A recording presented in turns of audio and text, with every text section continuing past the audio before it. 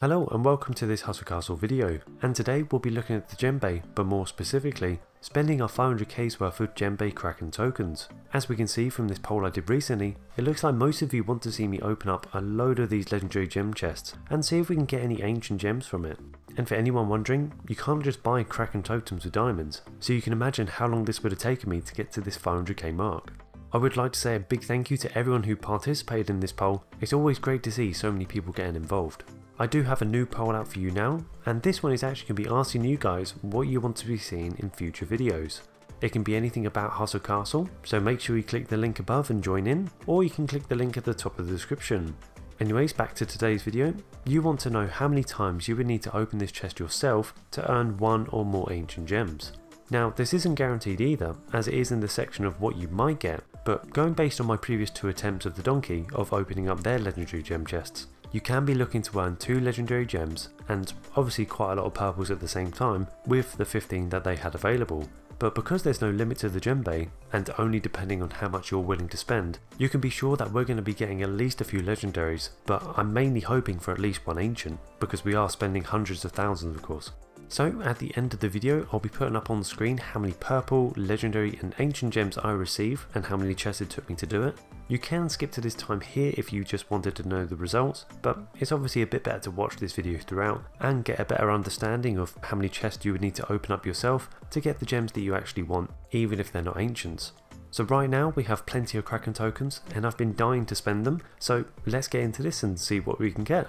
And because we have so many to open, I will be speeding up this chest opening phase and talking about when I get the legendaries and ancients and on what chest they were actually on. So let's begin and I am expecting to get at least one ancient gem after all this, otherwise them putting it on the list and not being able to obtain one after 500k of Kraken tokens would just be ridiculous at that point.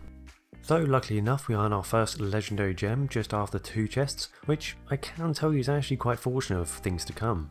The next time we earn a legendary gem does take a lot longer to come around and that's on chest number 10. So you can see we actually earn our first gem rather quickly. The next legendary is on chest number 12 which is a crit gem and sometimes I feel like that these are actually harder to come by than most gems but I think that's just me.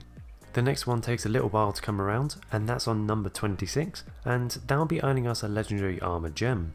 After this we actually don't get anything significant, which is a real shame considering how much we spent, but let's have a look at the totals and see what we was able to earn.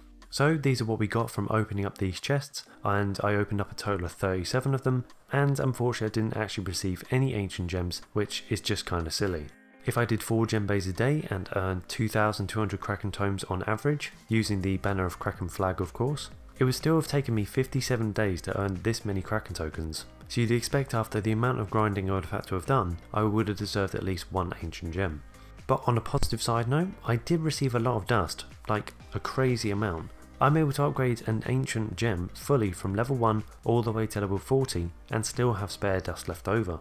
So what can we take from this experience? Well, you shouldn't be opening these chests if you was hoping for legendaries or ancients as they're too far and few between, and if you was hoping to get purples, I only received 15 in this run. And if I spent my money on just the violet option, I would have actually earned 46 in total for the same amount of money, which is just over 3 times as much.